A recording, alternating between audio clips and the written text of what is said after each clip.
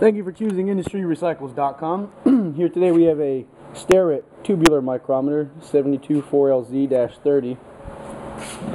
Um, condition wise, it does not appear to be used. All the standards are here, still wrapped up.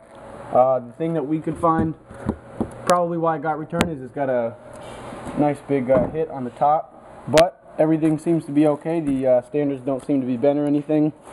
We have the micrometer head here that looks fine or excuse me that's just a standard here. Here's the head over here. You can see spins very freely really smooth. You can see the shaft going in and out. You'll see all the uh, specifications in the listing. Thanks for looking at our product